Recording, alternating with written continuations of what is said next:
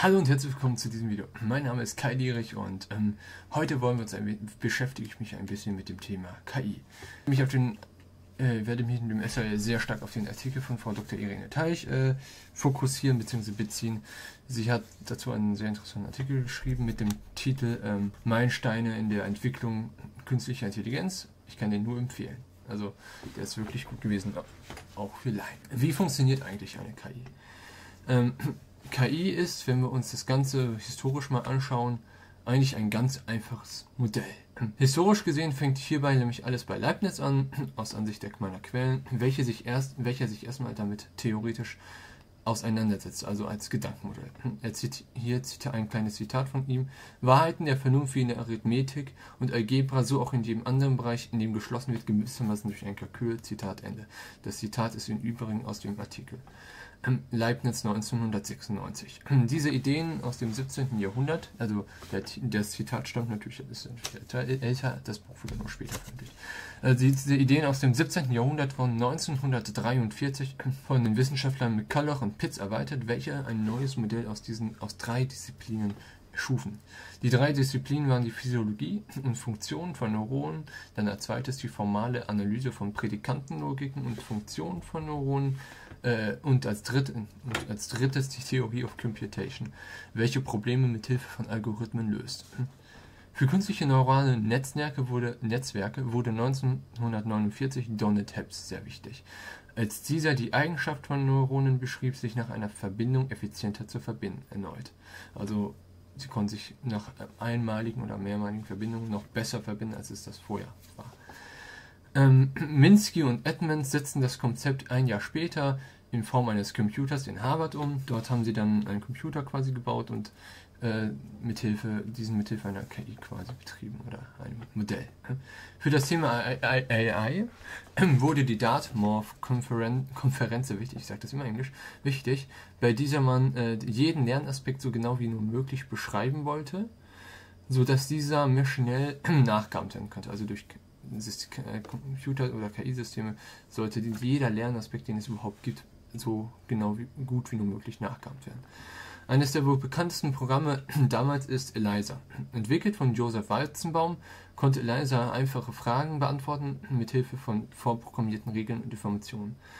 Ähm, viele Menschen vertrauten tatsächlich erschreckenderweise ihre intimsten Informationen ELIZA an.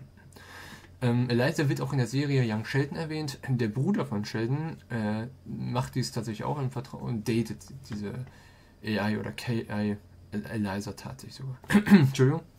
1973 entwickelten Colmora und Russell zusammen mit Robert Kowalski die Programm Programmiersprache Prolog, welche mithilfe der Technik Resolution besser äh, Texte analysieren konnte. Genau genommen wurden hierbei logische Ausdrücke weit besser verarbeitet, als es vorher möglich war.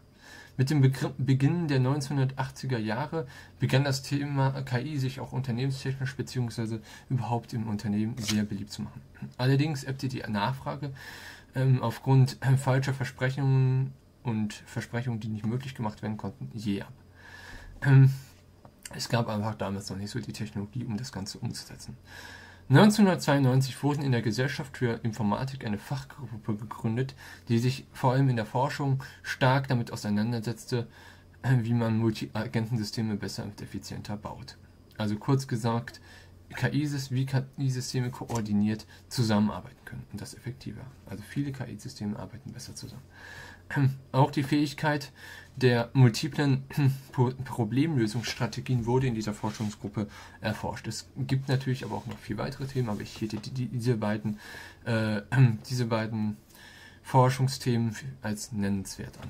Die restlichen Themen waren auch sehr wichtig, aber ähm, bis 2010 fokussierten die Forschenden ihre Arbeit stark auf die Wissensverarbeitung und ein Ergebnis dieser Bemühungen sind Content-Management-Systeme.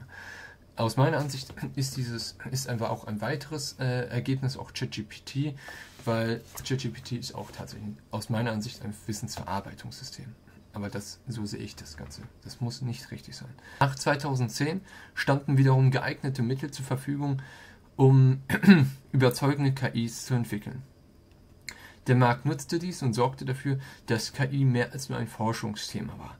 Beziehungsweise machte der Markt KI marktfähig. Wie es bereits allseits bekannt ist, wird KI in nahezu allen Zweigen der Informatik genutzt. Frau Dr. Irene Teich hat hierzu auch im Artikel also ein bisschen äh, angeschnitten, wo überall oder was für Möglichkeiten es gibt, KI anzuwenden. Ähm, aber welche Möglichkeiten gibt es denn auch in der sozialen Arbeit? Ich bin ja, ich bin ja ein Student der sozialen Arbeit, deswegen würde ich auch nochmal kurz sagen, wie man auch bei uns in unserer Profession so ein bisschen KI nutzen kann. Hierfür kann man sagen, dass es viele Möglichkeiten gibt, aus meiner Ansicht nach. Sozialarbeit ist ein riesiges Feld, welches sich aus vielen Professionen zusammensetzt. Sozialarbeit hat ja deswegen zusammensetzt, weil wir lernen aus den Erziehungswissenschaften, aus der Soziologie, aus Praxismöglichkeiten, wir lernen aber auch aus Erziehungs-, aus, ähm, aus Menschen, aus ähm, ähm, theoretischen, geschichtlichen Ansätzen, sozialwissenschaftlichen Ansätzen, bla bla bla, etc. etc.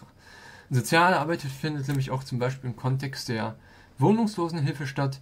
Hierbei können KI-Systeme den Datenstrom also zum Beispiel, wenn man viele Daten, wie es gibt ja viele Wohnungslose, wenn man das alles verarbeiten muss, kann man mit KI das vielleicht besser noch, noch besser verarbeiten und effizienter, sodass die Sozialarbeiter mehr Zeit haben, sich mit den Leuten zu beschäftigen. In der öffentlichen Kinder- und Jugendhilfe, wo ich ja auch als, Praktik als Praktiker oder wo ich als ein Praktikum mache, können KI-Systeme für den kreativen Einsatz auch genutzt werden, zum Beispiel.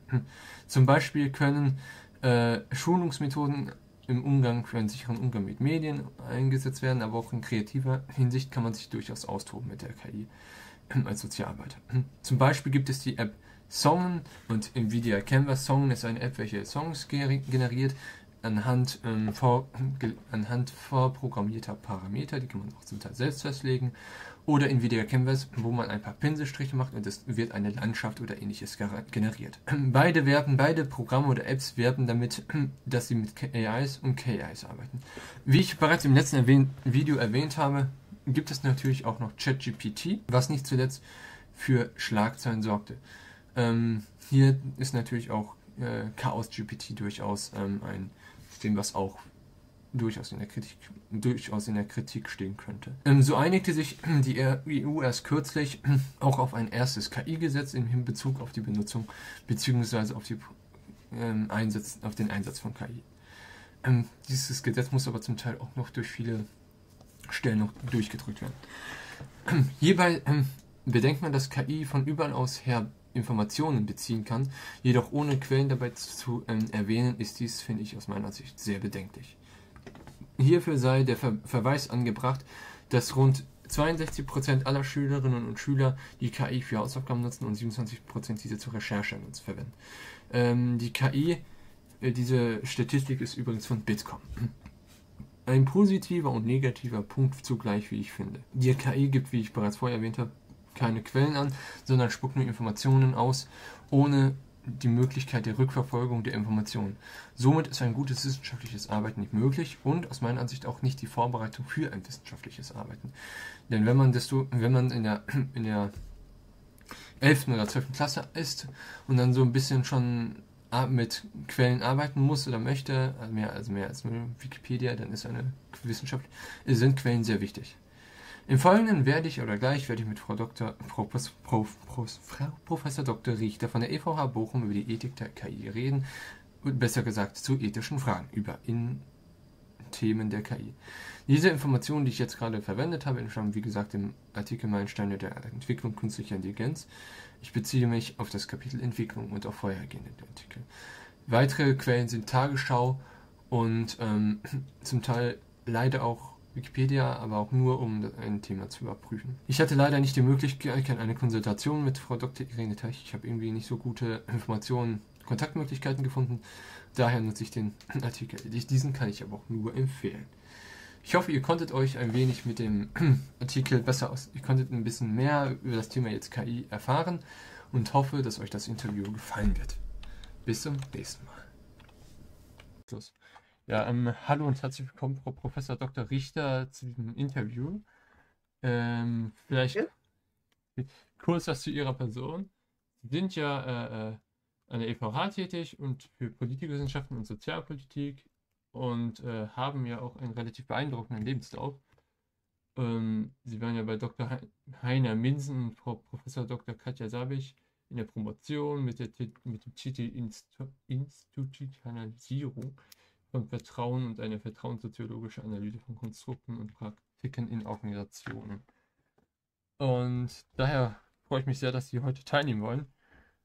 Und würde gleich erstmal mit der ersten Frage starten. Und zwar, ähm, wie hat sich KI überhaupt erstmal so entwickelt in der Zeit ähm, generell? Also wie hat das Ganze angefangen? Naja, ich bin ja keine Informatikerin und keine äh, Datenexpertin. Ne? Ich ja. bin, wie Sie schon sagen, ich bin eher Organisationssoziologin und kam auf das Thema Digitalisierung vorrangig als Sachverständige für den dritten Gleichstellungsbericht der Bundesregierung, der sich mit der Frage der Gleichstellung in der digitalen Wirtschaft beschäftigte. Und da konnte ich im Austausch mit den KollegInnen aus Jura, hm, Wirtschaftswissenschaften, Ökonomie, ähm, Kultursoziologie, Männerforschung, eine ganze Menge lernen über die historischen Hintergründe. Aber ich bin natürlich nicht ne, ähm, KI-Historikerin ja. oder Datenhistorikerin. Deswegen kann ich sagen, für mich sind aus einer soziologischeren Perspektive ganz wichtige Maßgaben Ada Lovelace, die erste Mathematikerin, die ähm, ja sozusagen die Grundlagen für den ersten Algorithmus erschaffen hat die nachher Lord Byron heiratete. Und das ist alles schon so viele Jahrhunderte her.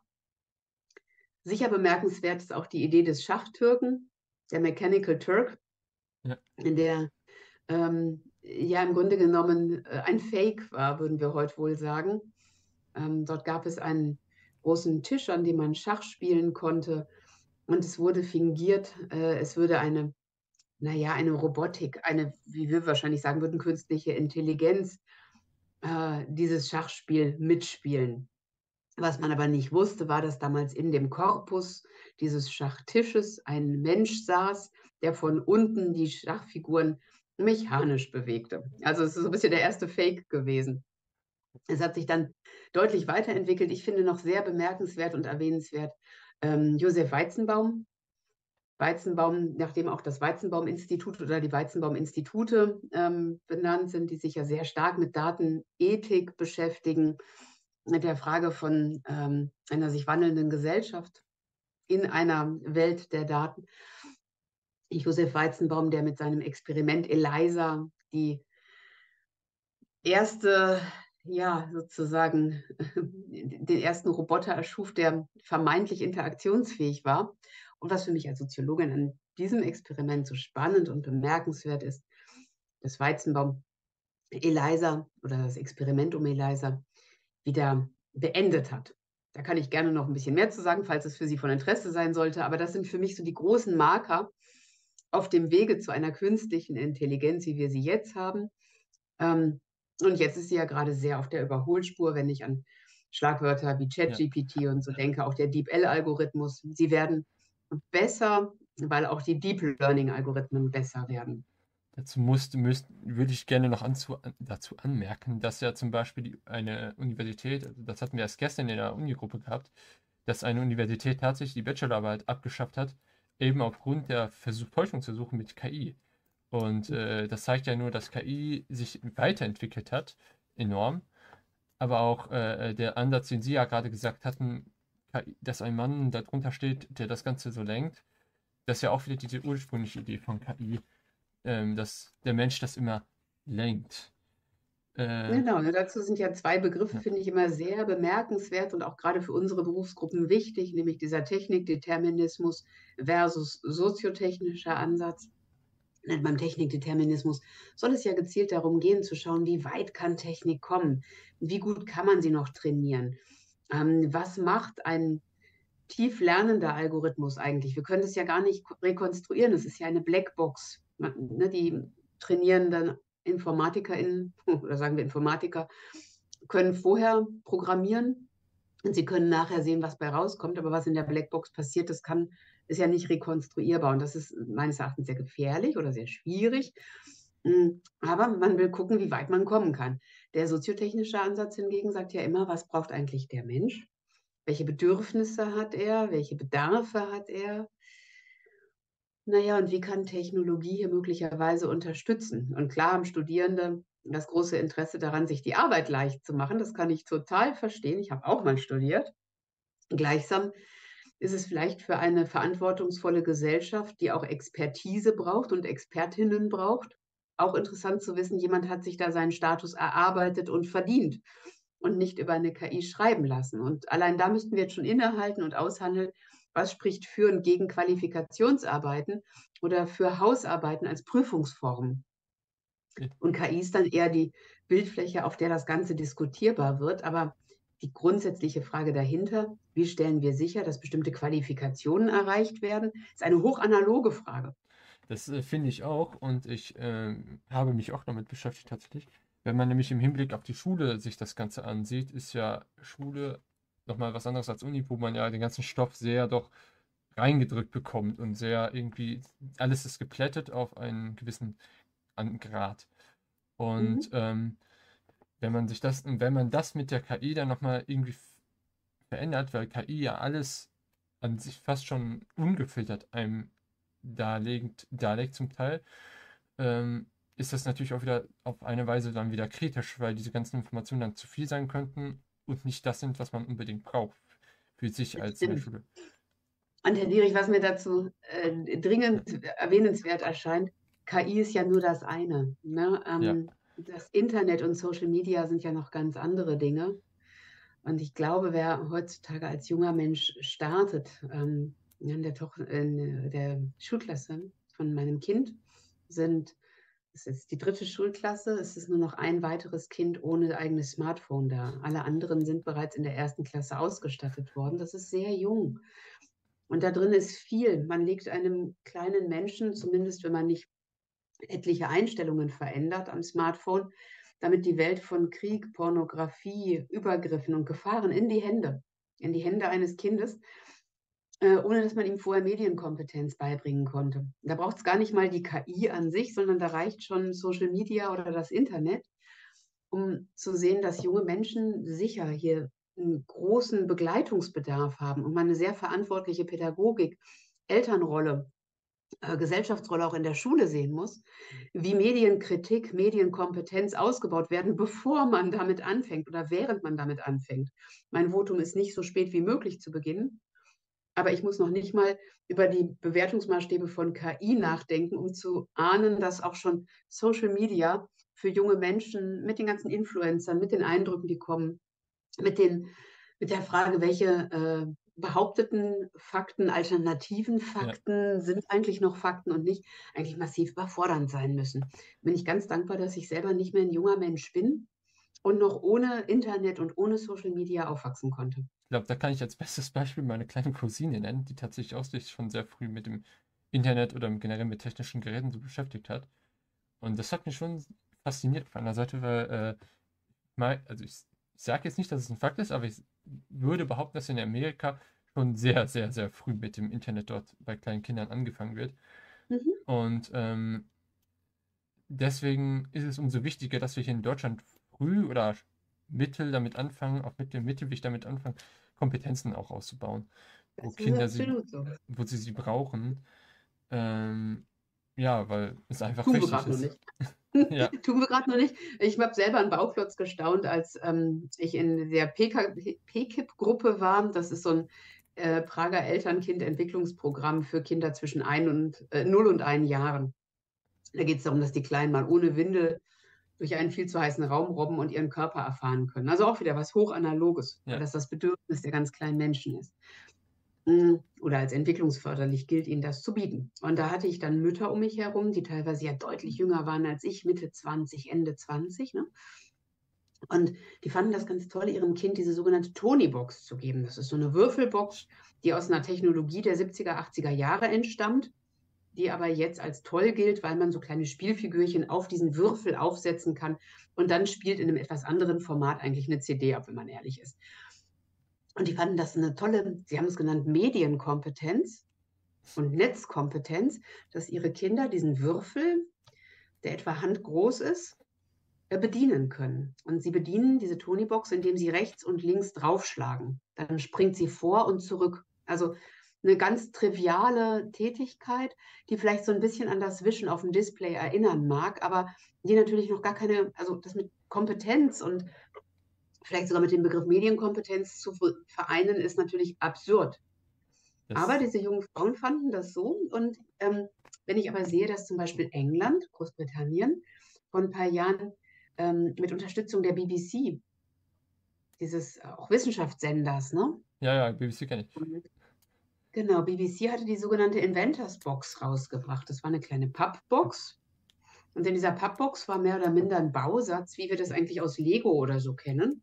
Oder wenn Sie ähm, äh, kleine Elektrobahnen fahren, das machen ja Kinder noch teilweise, ne? dass ja. sie dann diese ähm, elektrischen Bahnen aufbauen. Ähm, so eine Märklin-Bahn möchte ich mir da vor Augen führen.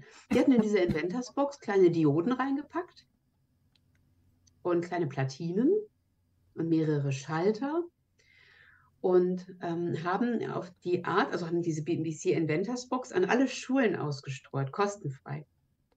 Und alle Lehrer wurden direkt beschult, wie sie mit der Inventors Box umgehen. Und auf die Art wurden die Kinder in die Lage versetzt, sozusagen erste Wenn-Dann-Bedingungen zu formulieren. Also mit der Platine und mit den Kabeln und vielleicht auch einem kleinen Schirmchen, das leuchtet und sich dreht, zu erschaffen, wenn der Computer hochfährt, möchte ich bitte mit einem Smiley begrüßt werden. Wenn ich den Computer wieder runterfahre, möchte ich, dass mein Smiley mir ein Küsschen gibt und rot blinkt. Das heißt, Sie haben eine ganz frühe Wenn-Dann-Bedingung kennenlernen können im Unterricht, um zu erkennen, dass jeder Binärcode menschengemacht ist und dass auch künstliche Intelligenz nicht objektiver, künstlicher, überirdischer oder sonst wie ist, sondern sie sind ganz basic daran geführt worden, dass alles, was wir hier virtuell haben, Menschenmachwerk ist, mit all den Fehlern. Wenn ich meine Wenn-Dann-Bedingungen ja. falsch formuliere, habe ich den Fehler drin. Und das ist sicher ein ganz toller Bildungsansatz gewesen, weil der eben bei den Grundlagen von Programmieren startete. Das haben wir, glaube ich, in Deutschland so nicht. Das haben wir tatsächlich definitiv nicht in Deutschland so. Ich meine, dass ich das in der, ich habe mir die irgendwie die Digitalstrategie bzw. die Strategie für das Erziehen von Kindern im Medienbereich durchgelesen und da stand mhm. das auch so ähnlich drin, man soll Medienberater oder ungefähr, man soll halt Medienberater einstellen, um Medienkompetenzen zu stärken. Und zu dem Wenn-Dann-Thema, das ist ja tatsächlich das grundlegendste Aufgabenangebot, was man hat in der IT, dass man, wenn ich zum Beispiel diesen Code eingebe, dann geht dieser Code weiter in eine andere Stelle. Und was wir bei, äh, was wir im Social Media Bereich haben, ist ja so, da gibt es ja ganz viele Algorithmen, die uns Werbung vorschlagen und auch Werbung ja ähm, quasi ähm, vermitteln. Und die basierend auf unseren, äh, auf unsere. Suchen sind, so Suchen sind. Und das ist ja schon das, was, was ganz grundlegend, also wenn ich zum Beispiel das gucke, dann passiert das, was kann, dann passiert diese Werbung quasi. Also baut irgendwie ja doch alles aufeinander auf. Und, äh, Empfehlungsalgorithmen. Ne? Und es hängt nur davon ab, welche, mit welcher IP-Adresse sind Sie gemeldet. Hängt bei Ihnen hinten ein Apple-Endgerät dran oder ein günstiges von Medion und schon bekommen Sie unterschiedliche Empfehlungen. Das ist eine hochmanipulative Geschichte, bei der wir auch wissen, dass Menschen sich verführen und manipulieren lassen. Zum einen, weil es die Komfortzone bespielt ich kann auf die Art genau die Produkte empfohlen bekommen, zu denen ich mich gerade sowieso informieren möchte. Das macht es ja für mich leichter. Und auf der anderen Seite reflektiere ich möglicherweise gar nicht ausreichend, wie ich auf die Art auch ähm, Spielball von Marktinteressen werde und vielleicht nicht ähm, 360-Grad-Kritik äh, an Produkten oder an empfohlenem Content ähm, naja, entwickeln kann, wie wenn ich mich selber an die Recherche mache. Und das sind ja grundsätzliche Einsichten im Umgang und in der Bewertung von allem, was im Netz passiert. Wir können eigentlich ohne das junge Menschen gar nicht äh, in die Gesellschaft entlassen, ohne diese ganzen Gefahren, ohne diese ganzen Manipulationen. Das Blöde ist nur, dass kaum einer von den Größeren das wirklich durchdringt. und die ganz große offensive Medienbildung und auch Ernst nehmen von dem, was uns vielleicht auch in die Diskussion bringen müsste, worüber wir innehalten müssten, worüber wir diskutieren müssten. Wie viel Technikdeterminismus wollen wir? Wo wollen wir vielleicht auch mal was nicht machen, weil soziotechnisch für uns nicht gut ist? Ähm, diese Debatten, da sind wir ja noch gar nicht, weil wir echt hinten anstehen, was als, ähm, naja, eine medienkompetente Gesellschaft gelten kann. Das ist schade. Da ist gesellschaftlicher Wandel und auch ein Nachholen sicher nötig. Das ist definitiv so. Und wenn man sich dann, also ich weiß nicht, ob man die aktuelle PISA-Studie tatsächlich so hinzuziehen kann, aber die aktuelle PISA-Studie ist ja tatsächlich sehr schlecht ausgefallen. Ähm, in einigen Ländern, vor allem in Deutschland zum Teil. Und hier zeigt sich ja doch vielleicht ein Bild wieder, dass man entweder mehr digitaler oder halt mehr analoger lernen müsste. In dem ja. Fall. Oder beides also Ich möchte das sogar noch erweitern, Herr Dierich. Ja. Wir haben da noch weitere Studienergebnisse. Äh, sicher bemerkenswert ist das Haus der kleinen Forscher in Berlin, das heißt ja. mittlerweile Stiftung Kinder forschen. Die haben den Digitalpakt Kinder und auch einen digitalen Schutz für Kinder im ähm, frühkindlichen Bildungsalter entwickelt, aber haben auch gezeigt, wie und mit welchen Maßstäben, aber auch mit welchen Herausforderungen frühkindliche Digitalbildung stattfindet. Aber wir wissen schon ganz viel. Dann haben wir die Kim und die Jim-Studie vom Deutschen Jugendinstitut, die seit Jahren beforschen, wie die Mediennutzung äh, von Kindern und Jugendlichen sich entwickelt. Und die Ergebnisse sind doch recht alarmierend, wenn man sieht, dass auch schon Kinder und Jugendliche über vier Stunden pro Tag im Netz verbringen. Ne? Gamend, sich informierend, shoppend, kommunizierend. Das ist aber für Kinder im Grundschulalter eine ganz schön lange Zeit, muss man sagen. Und zu der Kim und der Jim-Studie vom Deutschen Jugendinstitut kam jetzt auch noch der Vorlesemonitor. Der Vorlesemonitor zeigte, dass die Eltern sehr wenig vorlesen, dass auch wenig Interaktion, auch mimisch mit den Kindern passiert, dadurch auch motorisch scheinbar, das sagen wiederum die Mediziner, und die Entwicklungspsychologen motorisch jetzt äh, erhebliche Defizite, sagen wir schon immer bestehen, aber sich mehr vertiefen. Also von daher PISA ist das eine, aber die, wenn wir die Studienlage zusammenziehen, ergibt sich daraus ein Bild, bei dem tatsächlich darüber zu diskutieren äh, sein wird, ob nicht auch Restriktionen, Verbote und Gebote vielleicht doch angezeigt sind. Das versucht man ja immer möglichst flach zu halten, auch zu Recht. Ne? Die selbstverantwortliche, mündige Gesellschaft, die über Kompetenzen, über Bildung in die Lage versetzt wird, mündig Entscheidungen zu treffen und das Richtige zu tun. Aber vielleicht sind hier auch viele Gesellschaftsmitglieder überfordert. Und brauchen wir vielleicht doch das, ähm, naja, Verbote und Gebote Spiel. Was ja auch wieder zu dieser Frage treibt, wie die Verantwortung ist. Also nicht nur im Hinblick auf KI, sondern auch die Verantwortung in generellen auf dem, das Internet. Wer hat eigentlich die Verantwortung über das Internet? Es gab ja nie wirklich eine Person, die das, also es gab bestimmt eine Person, die das gestartet hat, das Internet. Aber die, der Person kann man natürlich jetzt nicht die Verantwortung für alles auferlegen, was im Internet passiert. Da immer die Frage. Und es wird auch nicht helfen. Also dann, dann können wir eine Hexenjagd machen, können wir eine Person, wir können ja von mir aus Herrn Musk oder Herrn Bezos nehmen. Ja. Die könnten wir einfach mal nehmen und sagen, die, die sind jetzt schuld an allem, aber das sind sie ja nicht. Das sind ja schon wir alle in unserer Alltagspraxis, die wir uns schnell an der Nase rumführen lassen, die wir uns hinter der Anonymität des Netzes gerne verstecken, um unseren Hate und äh, naja, unsere Unwägbarkeiten loszuwerden. Das sind schon wir alle. Wir alle sind das Internet.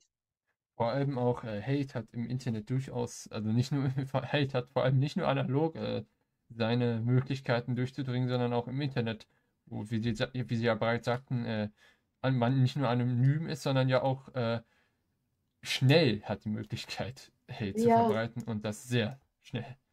Hm, das ist sowieso, glaube ich, eine ganz wichtige Achse, Herr Dierich, sich bewusst zu machen, dass ganz viele Probleme, die wir im Kontext vom Internet, Social Media und auch künstlicher Intelligenz haben, ne, das sind alles ganz bekannte Probleme.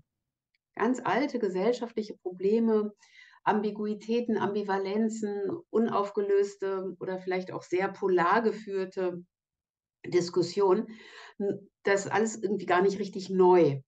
Das, was durch das Internet an sich passiert ist, ist, dass alles sehr viel schneller wurde und sehr viel schneller verbreitet werden kann. Also Verbreitungsgrad und Geschwindigkeit sind immens verändert. Ja. Und es stellen sich einfach neue Fragen im Zusammenhang mit Umgangsweisen. Aber sozusagen die Grundkonflikte, und Sie sagen ja schon, Verantwortung ist ein ganz wichtiger, das ist überhaupt nicht neu. Darüber hat schon Josef Weizenbaum mit Eliza lange nachgedacht. Was ja auch wieder zu dem anderen Punkt äh, bringt, wenn wir als Gesellschaft oder als Einzelperson keine Verantwortung aufbringen wollen oder können, wer macht das dann? So die Frage natürlich. Und äh, ich glaube, es ist auch wichtig zu erwähnen, dass ähm, viele der führenden ähm, Technikunternehmen oder Technikbosse sich auch gerne aus der Verantwortung rausziehen. Ich sehe Elon Musk, der hat ja sich zum Teil aus, der hat ja gefordert, dass man gegen KI Restriktionen will, obwohl er selbst restrikt, obwohl er selbst die KI mitfinanziert hat, so zum Teil und auch sehr gefördert hat in der Entwicklung bis zu einem kritischen Punkt.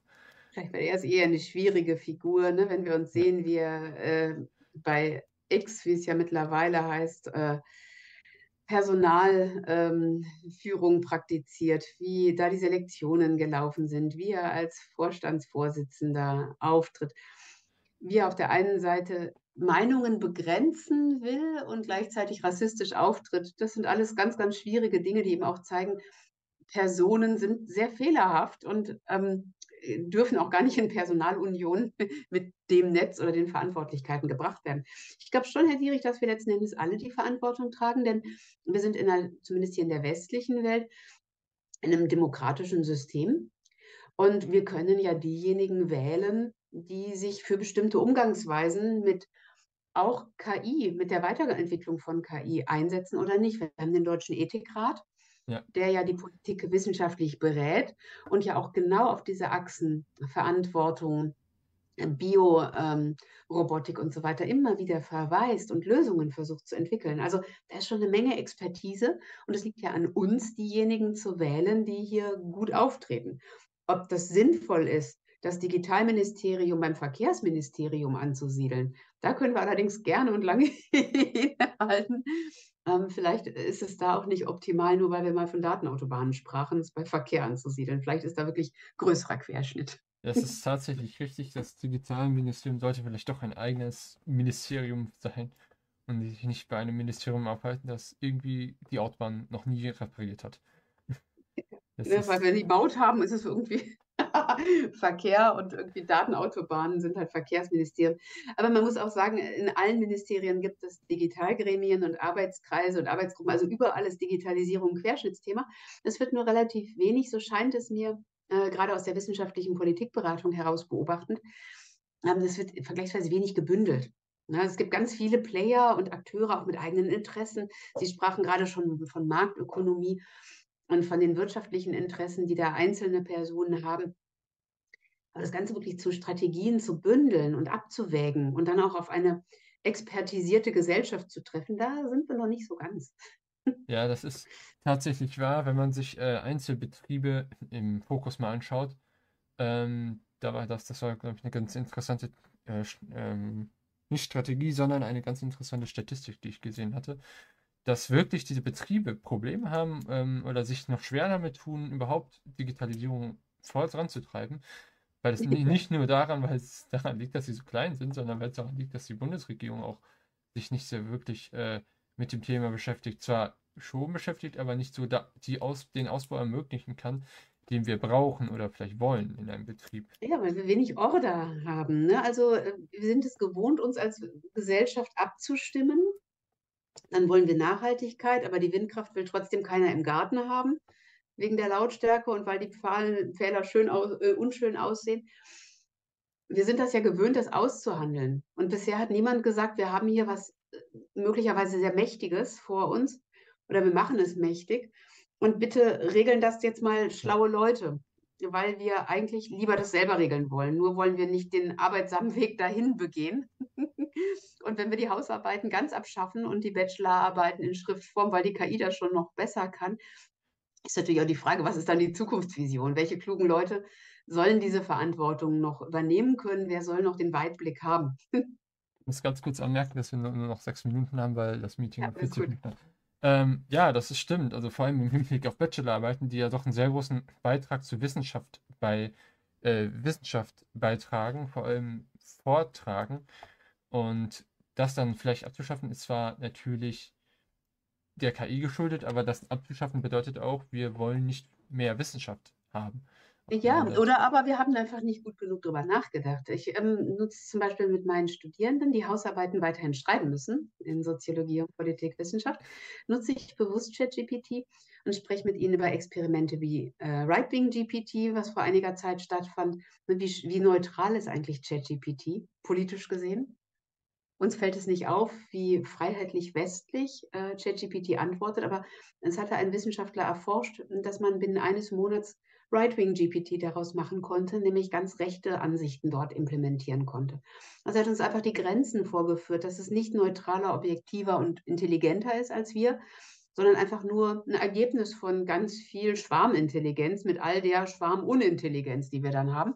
Und ich lasse meine Studierenden in den Hausarbeiten ChatGPT bewusst nutzen, aber sie müssen dazu reflektieren.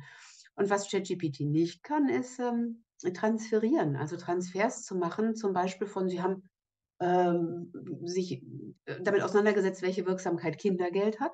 Ja. Jetzt versuchen Sie das mal bitte auf den Sozialraum Bochum und hier auf ähm, die Hustadt und die besonderen Problemlagen der Hustadt. Besonders die Hustadt. Und da kann, kann eine KI im Moment noch gar nichts und da braucht es eben auch das, die Expertise von Menschen. Genauso auch bei einer Personalauswahl. Das wäre auf jeden Fall ein Gegenstandsbereich, bei dem ich sagen würde, da sollte KI nie allein und autark arbeiten können, sondern da muss immer ein Mensch nachher drauf gucken. Ähm, da, da, sind einfach Grenzen von KI und möglicherweise machen wir es uns da auch zu leicht, wenn wir sagen, entweder Hausarbeit oder nicht, dann macht das die KI, sondern zu gucken, wie können wir es einbringen in neue Formen des Lernens und Prüfens. Das ist auf jeden Fall in jeder Hinsicht wahr.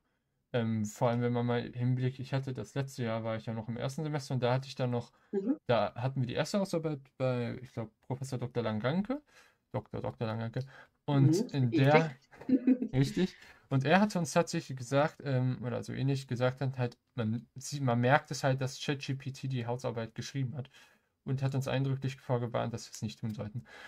Das ist so. Und tatsächlich ist Man muss so. ja schreiben können. Ne? Sie müssen nachher Konzepte schreiben können. Sie müssen Anträge für Ihre KlientInnen schreiben können. Sie müssen Schriftstücke, die von den Ämtern, von den Behörden, von den Familienmitgliedern an unsere KlientInnen ergehen, die müssen wir ja verstehen können. Und wenn wir sozusagen aus einer Komfortzone oder Faulheit heraus uns es immer leichter machen, ähm, verlieren wir was. Das ist Und das müssen wir uns auch bewusst machen. Ne? wir verlieren unsere Selbstständigkeit. Also ich glaube, für wissenschaftliche Fragestellungen ist es schon schwierig, mit ChatGPT zu arbeiten. So.